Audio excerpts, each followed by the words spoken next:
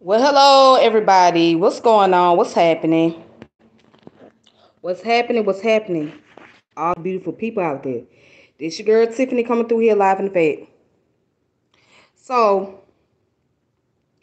we got a topic to talk about in a situation that's going on right now. So, as some of you may heard, and some of you may not heard. Some of y'all probably done watched the news or found the article online. This is by Brother Gazi Kodzo, right? So he's the founder of Black Hammer Organization. As you may know, that he uh got arrested in Fayetteville, Georgia, for a situation that was regarding to kidnapping, sodomy, and possibly a murder. All right. So I just want to say peace to everybody in the chat. Shout out to everybody in the chat. So uh yeah, he got arrested for um they say he was involved in kidnapping, sodomy.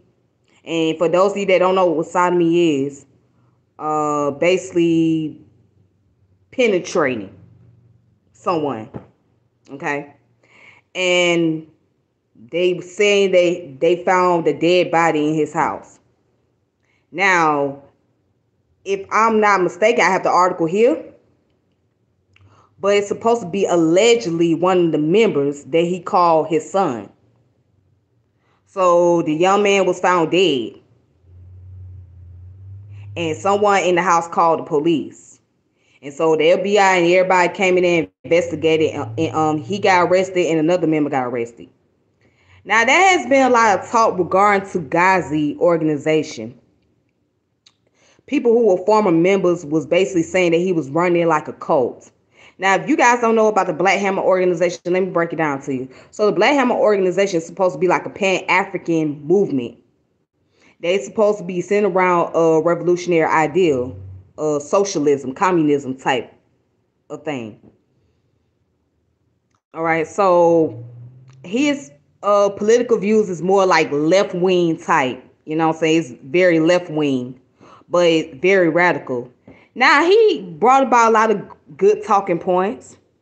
He really did. And he talked about things that was pretty relevant but just like any other organization out there, you still have to be careful of. I mean, although they can tell the truth or they can talk about things that's really relevant, the question is what is the true intention? And this is something that people have to learn from before they even just attempt to give it a chance. Not just pertain to spiritual organization, but also just revolutionary or social organization, period. Because you don't know what their intentions are. So now I have the article online and I'm going to go over the article. So it's in multiple websites. You guys can Google it up. This one one's daily.com. Now it says ex Black Hammer members detail Gazi Kodzo abusive cult, which culminated in arrests for kidnapping and sexual assault. And it says here, uh, Black Hammers Gazi Kodzo was arrested on kidnapping charges. Former members say it happened to them. On Tuesday, July 20th, police responded to a possible hostage situation in Fayetteville, Georgia, a suburb of Atlanta, according to reports.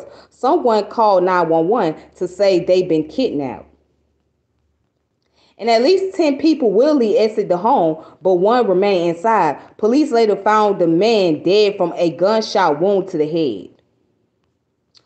Augustus C. Roman and another individual now face multiple charges over the incident. Neither has been charged in the person's death, which has been ruled a suicide. Roman, who faces seven charges, including aggravated sodomy, conspiracy to commit a felony, false imprisonment, kidnapping, aggravated assault, and criminal street gang activity, is better known as Gazi Kodzo. The address in question is a home to Black Hammer, the organization Gazi runs that ostensibly fights for the rights of the oppressed. Those that knew Gazi accused them of operating like a cult. So over the past year, former members spoke out against Kodzo, released a Google Drive file with testimonial that alleged abuse, manipulation, and other frightening behavior. Their online effort has tried to keep people away from Black Hammer, highlighting the experiences they've had that left them shaken to their core.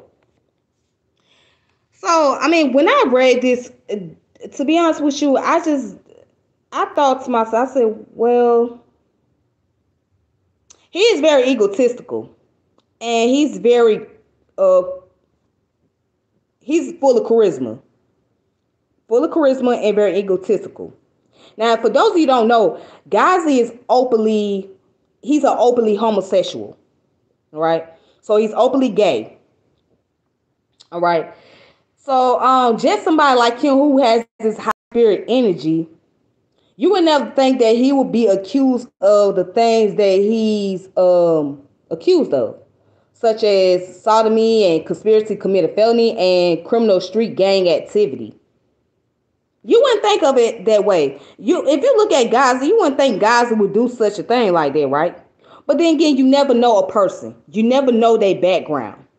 Now, there's some old videos of him before he got into his revolutionary stuff, he was into like some type of technology type of thing. He was into like dealing with uh computers, cell phones, and stuff like that, like the latest technology and stuff. So he had some YouTube page. I can't remember the name. I don't know the name of it.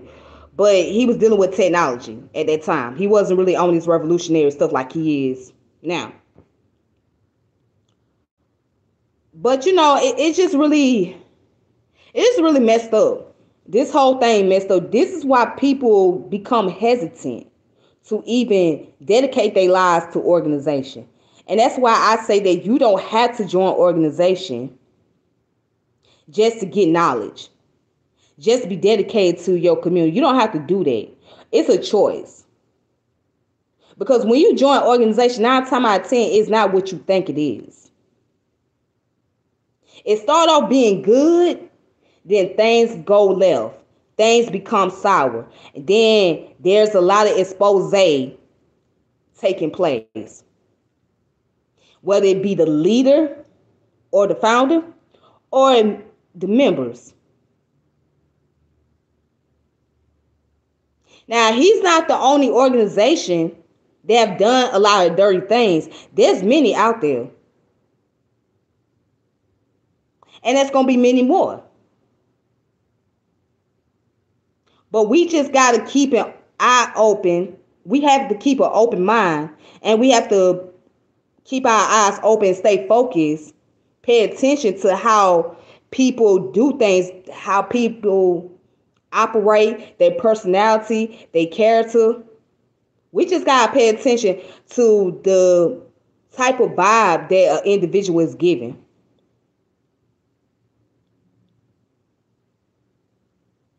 So it's like if you know there's a red flag going on or organization you in, it's best for you to hurry up and get up out of there before it's too late.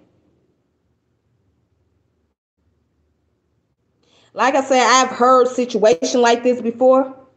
I heard people who was former members of this organization that he um that said some disrespectful things, a lot of disrespectful things, and did some di- disrespectful stuff to people, and particularly towards black women. Well, there was a couple of sisters on there that was saying that um on social media that was saying that he was disrespectful to them, would call them bitches, cuss at them, talk to them in any kind of way. Yeah. Then someone had something that he was posting up like some form of nudity, naked picture of men on Instagram taking off their clothes and showing their private area or whatever on Instagram, and people took offense to that because they're, they're like, okay, that has nothing to do with fighting revolution. That's your own personal thing. Like, why are you putting that on Instagram? How does that represent what the organization's about? And so he was getting offended because people was asking questions as to why he was posting up certain pictures and certain images of men getting naked or you know doing sexual things. Which they have a right to because the question become all right well what you what is you really up to? What are you trying to do? What is your main goal here? What is your main purpose? Is it to use the organization as a way to bring sexual gratification and profit or to push push further your agenda or what where's your whole goal here so people have the right to know where you trying to get at so they can make their decision. That shouldn't really be a reason why you get mad at folks. Because it's bad enough people use movement just to get um, individuals, especially women, to get involved so they can act on a sexual pleasure or be able to act on violence and all these different things. This is what makes it hard for us as black people to really want to work together because it's always something like this going on and you have caused distrust to where nobody wants to be bothered. They just go back to what they used to be or live their regular life. They feel like they don't wasted their time when they could have been doing other things.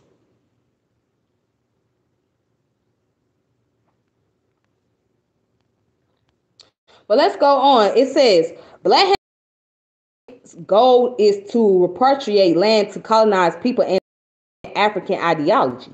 Has been better known for its online stunts. It conducted a campaign on Twitter to brand Anne Frank a Karen and use social media to live stream it, it its in-person antics. And the warrant for their arrest obtained by the Daily Dot, Fayetteville police say they Kodzo ordered individuals to point guns at two people and force them into a padlock garage. It is an accusation that matches testimony from the Google Drive where a former member says Kodzo and members of Black Hammer forcibly detained her and often banished, what is it, often brandish weapons. Hmm. And it also said Fayetteville police in the warrant say that Kodzo annually raped at least one person at gunpoint. Ooh.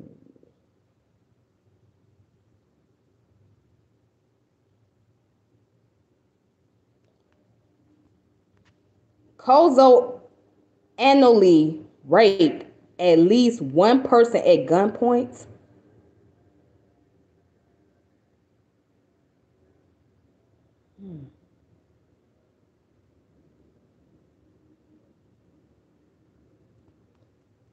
While the police were still surrounding the house, but before they were arrested, Kodzo, who uses they them pronouns, went on Facebook Live and expressed their excitement at what was occurring in the live stream.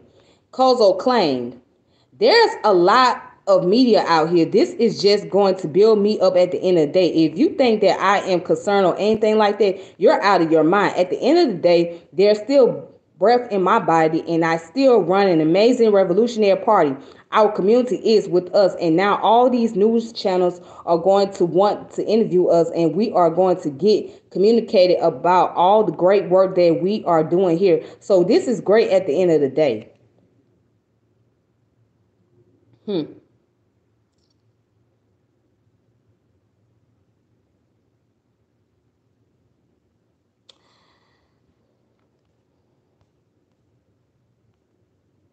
Then go down and say instead, the day ended with someone dead.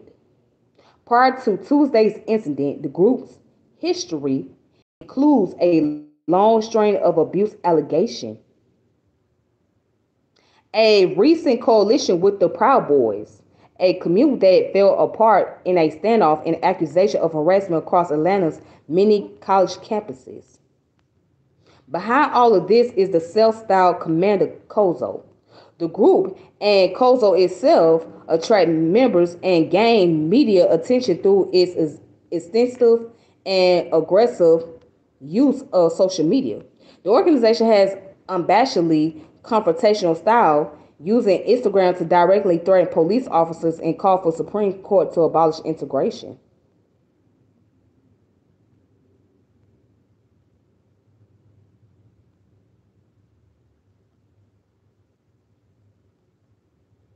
Hmm.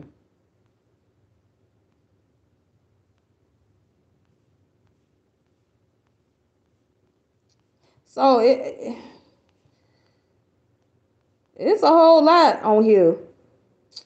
It's a whole lot about this man. So let's just read some of the stuff that people posted on Instagram or Twitter. One said exposing Black Hammer. Mem- remember, Gazi was an abuser with a God complex through and through.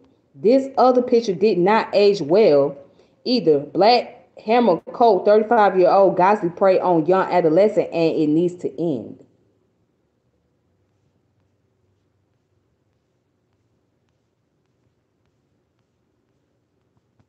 Then goes down to another Twitter page.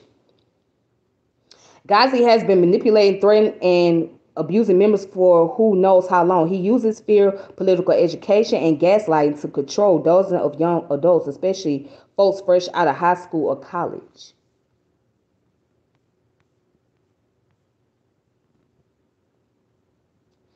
Then it also goes down and say in the last year, members of the Black Hammer Cult group have harassed me, followed me down away into my personal space, and shouted obscenities at me. They're on our campus trying to fleece college students for donation, and today things escalated a lot.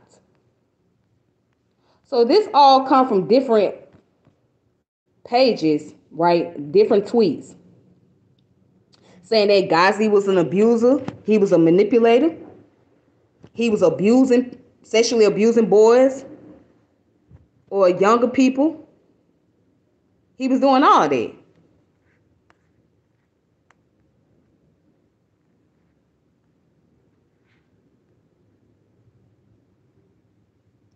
So my thing is, my thing is, for those who knew that Gazi was abusing people, why did they not report it then? If he was sexually abusing folks, why was there no reports being made? How could he get away for so long doing things like this? Allegedly. And nobody made the report about it.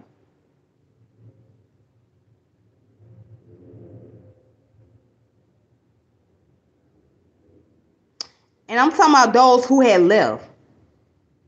Were they in fear for their life?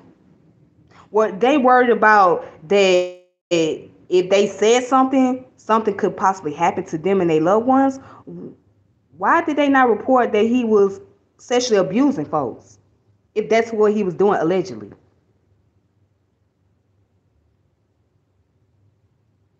You know what? All of this is crazy. All this is crazy and it's insane. And this is one of the reasons why I don't trust organizations. Because the moment some allegation comes out about this person being abusive, especially dealing with rape, that's a red flag for me. That's a red flag for me to say it's time, no, it's time to get the fuck on.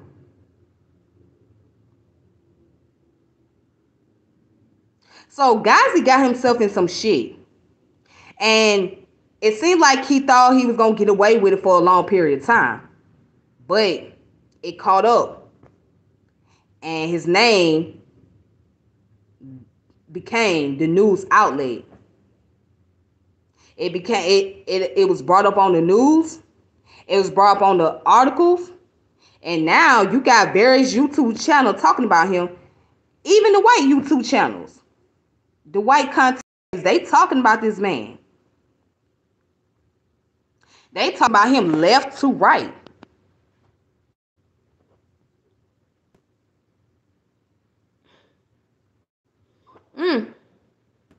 But you know, I really feel bad for those who did join and they had to experience all the negativity. I really do.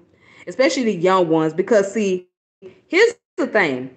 When people start organization, who they look to gravitate is towards the younger audience. They gravitate towards the younger people. Why? Because it's easy to manipulate them. It's easy to influence them. And you know, when you're at that age, when you're in your prime, you're more energetic, you're more aggressive, and you feel like you're just more powerful and you become naive. So when someone see how aggressive and powerful you are, it's typically an older person.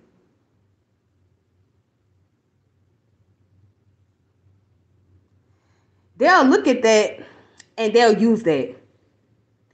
They'll use it to their own advantage to where they can bring control.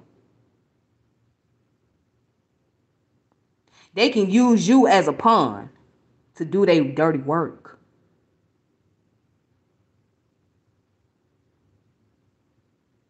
So these individuals know how to play a chess move on somebody that's young. Because, see, it would be hard to do it to an older person or a person that's in their age group. So why go to people in my age group when I know they're gonna be stubborn, they're gonna be saying their own ways, they ain't gonna want to be bothered. So it's easy to gravitate to somebody that's younger because they don't know. And they fresh out of high school, fresh out of college, they stepping stepping foot into the world and actually experiencing the world for themselves. They don't know anything about life. So they entering into adulthood. So it, this is the opportunity to go ahead and snatch these youngsters up and fill their mind up with poisoning or fill their mind up with a bunch of feel good rhetoric, sell a wolf ticket to them, get donation, get money, bring about gaslighting, manipulation, control, and just sit back and watch everything unfold. Let them do the dirty work and just sit back and watch. Oh, if they refuse to do something, then they face the consequences. Then they get punished. And to me, this is what it sounds like. It sounds like maybe the, those that was in his organization, they pretty much was either fed up with him or they began to have second thoughts and he didn't like it. So he felt like, well, you trying to go against me, and I am the authority figure here. I am the founder. I run this. You can't stop nothing. You, who do you think you are? I'm gonna teach you a lesson. We gotta be careful with folks like this. Cause see, everybody that call themselves revolutionary, they're not really revolutionary. They don't always have the intention on bringing about revolution. They just doing it to bring aggrandizement, self gratification. That's what it is. But that's all I have for today. That's all the information. I mean, you guys can look up more. I mean, there's plenty articles that's speaking on Gazi and the Black Hammer movement. And those organizations that support them, I'm quite sure they sit back wondering what the hell were we thinking? What's really going on? Or they probably went along with whatever he was doing. Because they gonna get their time too. If they was going along with it. But again, y'all can look it up online. Y'all can find this on daily.com. Y'all can look it up on the Atlanta local news website. Uh, shoot, y'all can find a lot of stuff on this. Hmm. It's only a matter of time because there's more. Oh, trust, believe there's more that's going to get exposed. There is more.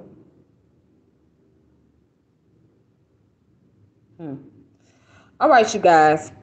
So y'all take it easy. Y'all be safe. And then I'll talk to you guys later. And again, peace and power elevation be to all you. Make sure you subscribe to my channel, like my channel, share my channel, etc. And hit the notification bell whenever I come on. And uh, y'all take it easy. So, peace. That's it. Be careful.